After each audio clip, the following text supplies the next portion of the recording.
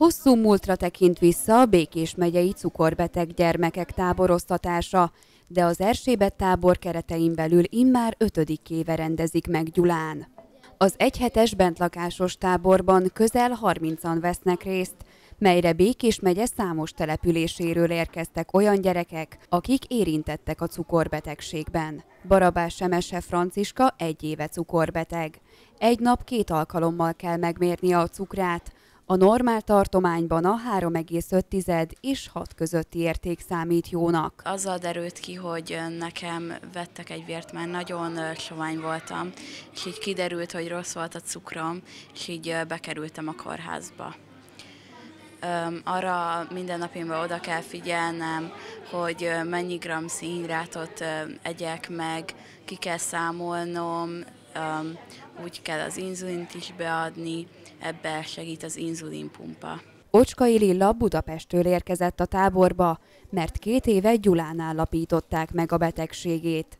Nála úgy derült fény a diabéteszre, hogy egy nyaralás alkalmával egy hét alatt sokat fogyott, valamint sok vizet ivott és egy reggel rosszul lett. Akkor nagyon magas értéket mértek, és bekerült a kórházba. Ocskai Lilla azt is elárulta, hogy amióta a betegsége tart, sokkal egészségtudatosabban és összeszedettebben éli mindennapjait. Furcsa volt, mert mindenki más arról beszélt, hogy, hogy hát, amit megkérdeztem, hogy mennyire rossz ez neki, meg hogy simán visszacserélni a régi életét, hogy ugyanúgy bármit tehessen. És nekem is a barátaim azt mondják, hogy öm, furcsa lehet így élni, és hogy ők, ha helyemben lennék, és lehetne egy kívánságuk, akkor azt kívánnák, hogy ne legyen ez, de én egyáltalán nem érzem ezt, mert ez mégiscsak az én részem, és nem véletlenül hát születtem ezzel a hát hogy is mondjam, állapottal. Kosznáné Pule Ilona, a Diaboló Alapítvány kuratóriumának elnöke elmondta, az egyhetes tábor egyik kiemelt célja a környezettudatosságra való nevelés. A napokban a gyerekekkel meglátogatták a Békés Csabai hulladékválogató telepet, ahol a fiatalok megtanulhatták, miért fontos szelektíven gyűjteni a szemetet. A második kiemelt cél a hátrányos megkülönböztetés elleni küzdelem. Azon túl, hogy egy gyermek diabéteses és meghatározott napi szénhidrát mennyiséget kell, hogy bevigyen, naponta három, négy vagy öt alkalommal kell úgymond kívülről bejuttatni neki inzulint, és ez ugye a hétköznapokat nagyon megnehezíti.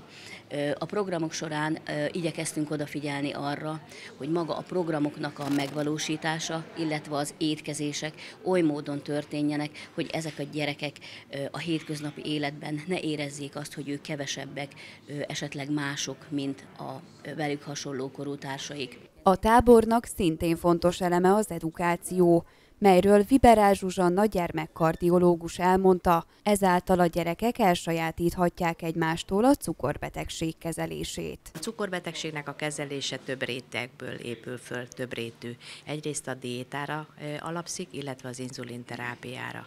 Az inzulinterápiában többfajta kezelés lehetséges.